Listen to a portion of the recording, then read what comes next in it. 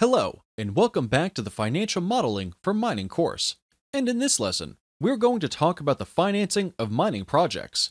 The most well known mining companies are Rio Tinto, Glencore, and BHP Billiton. And some of you may have already heard about these companies. These are the companies with multi billion market capitalization. Obviously, not all of the mining companies have multi billion market capitalization, and in fact, Mining companies are divided into senior and junior mining companies.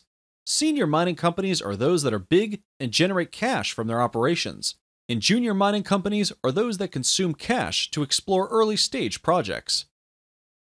The majority of the financing of mining projects is in the form of equity, and the equity financing comes from the IPO, secondary equity offerings, or private placements. Next, mining companies raise corporate debt, which comes in the form of bank loans and bonds. Some of the mining projects are financed by means of non recourse debt, and that would be a project finance transaction. And finally, there is alternative financing available for the mining companies, which comes in the form of streaming, royalties, offtake financing, and leasing. We will now review the source of capital in more detail, and first, we're going to talk about equity financing. The mining companies raise equity financing by means of selling the equity shares to the public, and this can be done, as we have just said, in the initial public offering, whereby the company lists its shares on the stock exchange and then offers its shares to the public. Once the company is listed on the stock exchange, it can make a secondary equity offering that is offering the shares to the public after the IPO. And then, something that mining companies use a lot is a private placement and private placement is a sale of equity shares to the high net worth individuals and institutional investors in private. Let's now review the debt financing available to the mining companies. The corporate debt financing is debt financing against the corporate assets of the company. This would be only available for the companies that are generating positive cash flow. There is non recourse debt financing available for the projects that are attractive enough. Non recourse debt financing is essentially a project finance structure whereby the project assets are pledged as collateral. Both the senior mining companies that generate cash flow and junior mining companies that are at the development stage employ non recourse debt financing. Non recourse debt financing is much more complex than corporate debt financing, and it is more expensive as well. We will review the non recourse debt financing employed in the mining industry in more detail in the next lesson. Let's now talk about the alternative financing available to the mining companies. And first, we will review the example of the streaming transaction. We'll assume that the mining company participating in the streaming deal is producing two products zinc and silver. In this case, zinc is a strategic commodity for this company, while silver is not.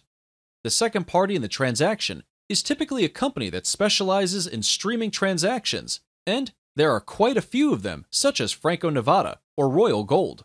So, the streaming company would provide upfront capital to the mining company, which could be used to develop the mining project. And the mining company would sell 100% of its future byproduct production, which in this case is silver. Price of the metal would be at a discount to the future spot price, and the discount can vary depending on the return that the streaming company requires. Streaming financing is a non diluting form of financing compared to equity. When companies raise equity financing, they dilute the existing shareholders because they issue new shares, and the company's benefits to the shareholders have to be shared now with a larger number of shareholders.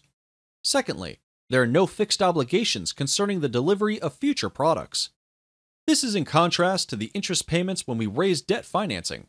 If the mining company has an issue with the future production of a product that has been used in a streaming deal, then it will be given a 60 to 90 days cure period to resolve the issue. However, no interest will be charged on undelivered products.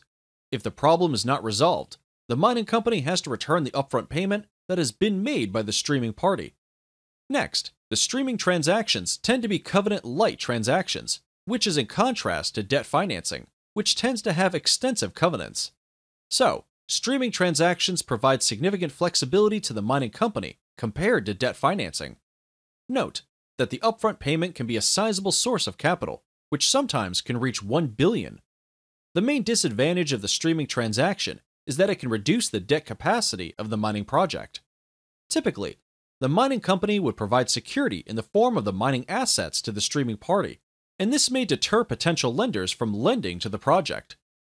Also, the cost of streaming financing can be high and is comparable to the cost of equity financing. Typically, the required IRR by the streaming company is between 10 and 25%, depending on the counterparty. If the mining company is a large and cash flow generating company, the required IRR would be closer to 10%, reflecting the risk profile of the counterparty. Next, we will review the royalty transactions.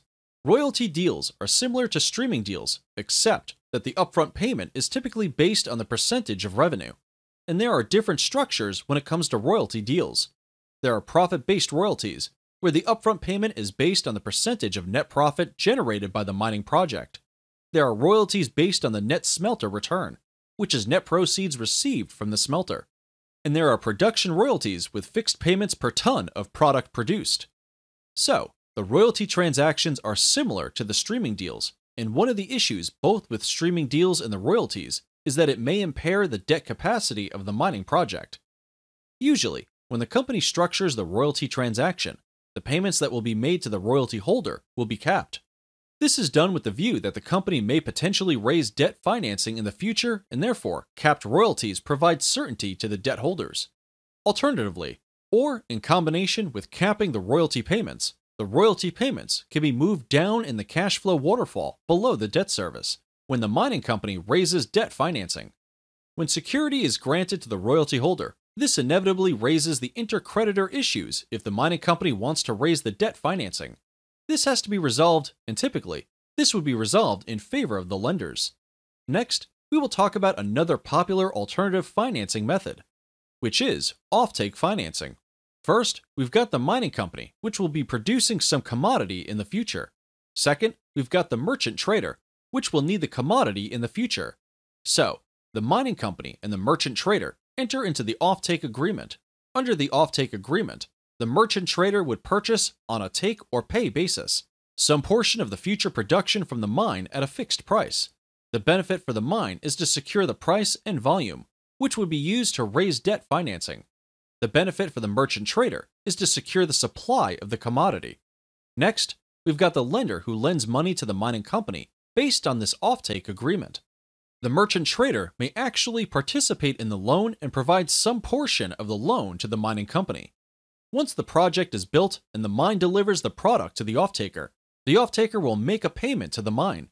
However, the payment that the offtaker makes for the product is divided into three parts. The first part will cover the interest and principal of the loan and will be made directly to the lender. The second part will cover the interest and principal of the loan made by the offtaker to the mine, and the remaining part will go to the mine. The advantage of offtake financing is access to the debt capital for companies without a history of cash flow generation. Since the offtake financing is a loan to the mining company, the terms will be very strict, similar to any other loan, and any production failure in the future will trigger a default. The term of the offtake loan is usually short, between 3 and 6 years. The size also tends to be small, between 50 and 100 million. The interest rate tends to be high, between 3 and 6% margin plus LIBOR. And the project should have sizable proven reserves, and the project has to be large, so the lenders feel secure about the project.